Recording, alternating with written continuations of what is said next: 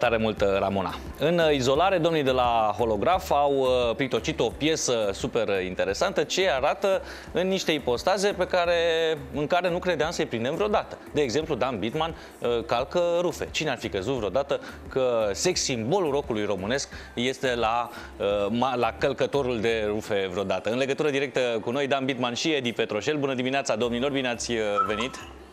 Neața, neața! De la ce v-ați luat? Ce v-a venit? De la Mugurel. Mugurel Brabete este cel care a fost uh, inspirat de data asta. El uh, a făcut uh, muzica și textul acestei mm-hmm. piese, care s-a potrivit așa ca mesaj cu stați acasă, n-ai de ce să pleci, sau stai acasă, n-ai de ce să pleci. Și uh, mult mai celebru decât noi, holografii, uh, Jur Jacques, fiul lui Edi Petroșel, care e în imagine, uh, și-a făcut milă de părinții și prietenii lui mai în vârstă și a venit uh, și ne-a filmat pe fiecare acasă, făcând fiecare ce știe mai puțin, bine, dar bine, ce știe. Și uite, așa s-a născut piesa asta, N-ai de ce să pleci. Și un, uh, un uh, videoclip uh, interesant, mulți și-au dorit să intre în perioada, în perioada anterioară acestei izolări în cuiburile în casele artiștilor din România. Acum, cumva după două luni, nu cred că am ratat vreo casă de artist celebru. Iată și voi ați filmat videoclipul așa. Edi, de ce ți-e dor tare și, tare și, și mai tare de perioada de dinainte de izolare? Din acea perioadă? În primul rând, în primul rând de spectacole și întâlnirea cu fanii noștri, clar. Că am fost antrenați 42 de ani să cântăm și acum stăm acasă. Îți dai seama ce trist e.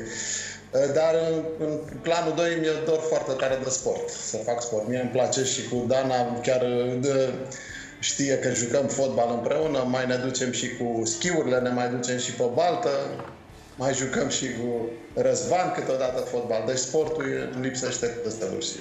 Uh, apropo de, de uh, baltă, uh, Dane, cum, uh, cum merge partea cu wakeboard-ul? Că te-ai uh, reprofilat pe de-astea de extrem. Păi nu, pe, pe, 15, pe 15 eu dau drumul.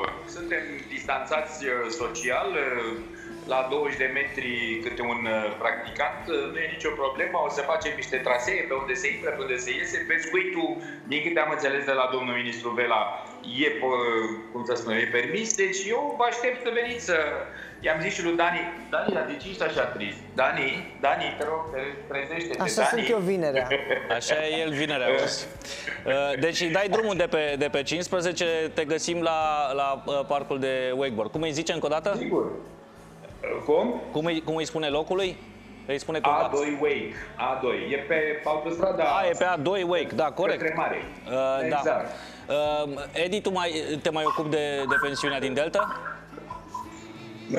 Doar așa, de la distanță și prin rugăciuni în continuu, știi? Continue. Voi da, mai stați acum.